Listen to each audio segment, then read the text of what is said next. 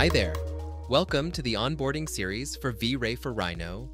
In this video, we'll explore the interface and show you how to get around. If you want to follow along with this tutorial or check out the scene later, you can download the project files from the link in the video description. Now let's get started. The first thing you need to do after installing V-Ray is set it as the current renderer from Rhino's render menu. V-Ray comes with toolbars with shortcuts to the most commonly used tools. These tools are arranged in sections to help you work with geometry, lights, proxies, rendering, and utilities. You can turn these toolbars on and off as you like. They can even be docked in the user interface. The V-Ray Compact toolbar and the V-Ray All toolbar are used the most.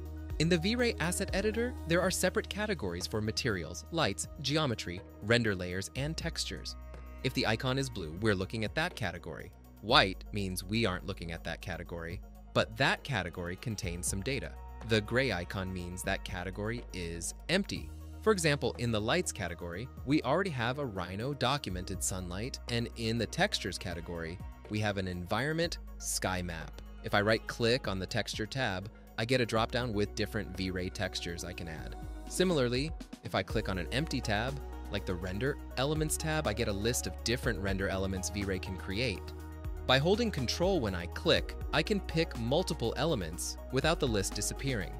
This works with the Geometry tab, where I can add proxies and scatter objects, and the Lights tab, where I can create unique lights and choose from a range of V-Ray materials in the Material tab. You can also hold Control to select multiple categories, or just use Control A to see all the categories. We can also create materials, textures, and other unique tools by clicking the plus icon at the bottom of the asset editor. Now let's open the flyout menu on the left side. Here, we can create and load custom libraries of V-Ray assets that we can share with our colleagues. To add something from the library to your project, just drag and drop it into the project assets and it's ready to use. If you want to create your own library, you can start by clicking on an asset from your project. Choose Save As from the dropdown, or just drag and drop it into an existing library. V-Ray comes with a bunch of pre-made resources you can use. This library is called Chaos Cosmos.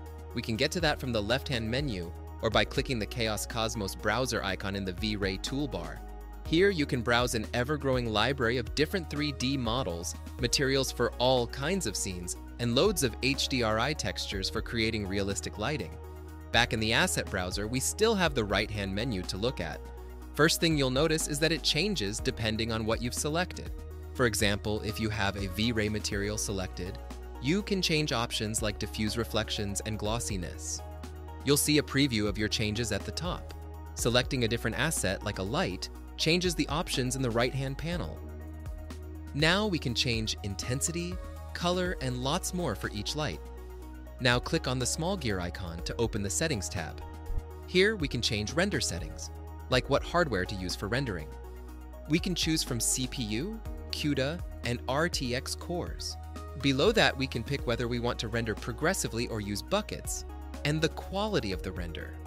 If you look to the right, you can see what exactly these presets are changing.